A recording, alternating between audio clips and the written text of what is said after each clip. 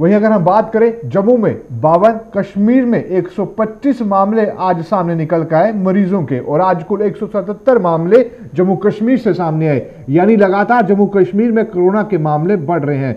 इनमें से छह सांबा, दो कठुआ, तेरह मामले उधमपुर से, एक रियासी से और चौदह रामबन से मामले सामने निकल कर आए। वहीं सरकार इसे लेकर काफ़ी चिंतित भी है और लगातार प्रयास भी कर रही है कहीं ना कहीं इन मामलों पर रोक लगाई जा सके और कहीं ना कहीं टेस्टिंग की रफ्तार भी बढ़ाई गई है।